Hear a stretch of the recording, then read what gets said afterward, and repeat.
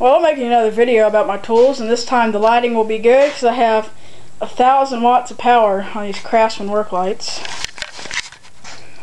Very bright.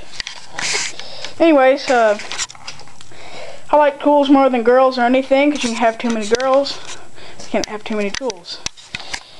Anyways, uh, start off showing you my ratchets. I got this this ratchet. It's my favorite ratchet. It feels really good. I had a Craftsman 3 8 ratchet before, and it, it really sucked. I broke about three or four of them, and I finally decided to just get this thing for Christmas.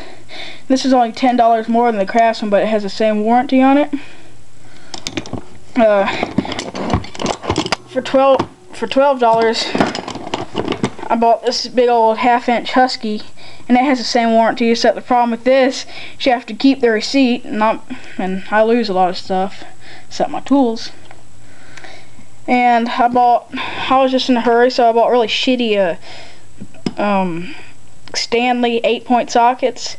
Never buy 8 point sockets because they fall off bolts they strip them out and you have to you know hold one hand to keep the thing on there and then ratchet with the other. I got 12 inch crescent be it uh, GM Goodwrench. I didn't know that they made tools until I started to go to the O'Reilly's Auto Part. I got gloves. I got these from Harbor Freight.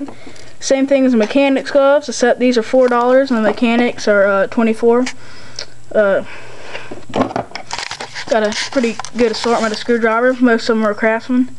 But I got these Stanley Fat Max, the steel caps, because I have this habit of hitting the ends of the screwdrivers. Then I have just socket stuff that I didn't have room for on my socket organizers. And I got like a bunch of wrenches and tin snips and nut drivers and all that good stuff in there.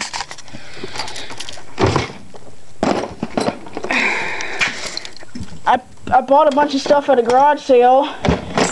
Oh, I didn't buy it. Oh shit.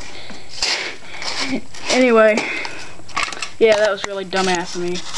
Anyway, I got these uh, Harbor Freight wrenches, and that's how he, he paid me back. And Pittsburgh, I like them. Anyway, don't even comment about that dumbass thing I just did with those tools. Uh, anyways, I'll make some more of these videos.